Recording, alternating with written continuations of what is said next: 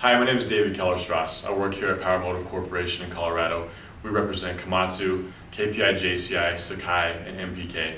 And we're hosting the 2012 Road Connection that's going across the country promoting road um, infrastructure funding for the government. Right. Um, basically, uh, my name's Andrew Gilman, and I'm with the Road Connection. We've been in 34 states so far, uh, traveling around the country for the better part of a year, advocating for our roads and bridges. We're thrilled to be here in Colorado. Uh, beautiful scenery, by the way, um, and uh, we can't thank the fine folks at Power Motive enough for, for having us, and, and we really appreciate it. Absolutely. This is our second event here in Denver. We had a first in Grand Junction that turned out great. We had a lot of people show up with a lot of interest and support. Right. So we're hoping for the same today and all's well. Absolutely. Well, thank you for having us. Absolutely. Thank you. Okay.